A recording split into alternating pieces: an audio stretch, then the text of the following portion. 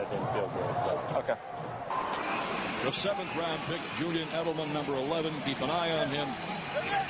This one is coming down to Edelman. Heads to the right to the 30, 35 yard line, 40, 45 yard line, 50. Cuts to the left. He's to the 40. He's going to take it to distance.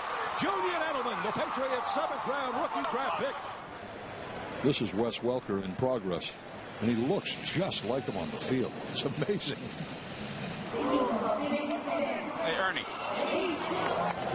What's name that played before Lou Gehrig? You want to look at these or you want to wait until the next? Wally, yeah. Yeah. You ever hear of Wally Pipp? Wally, what? Wally Pipp. Uh-uh. You never heard of him? Uh-uh. Well, he played first base before Lou Gehrig. Oh, okay. Then Lou Gehrig started like whatever it was, 23 thousand straight games. Right. Yeah. the little man. That might be the little punt man? return Huh? story. No doubt. Hey, you can have it, compete. Way to compete. We're looking at Will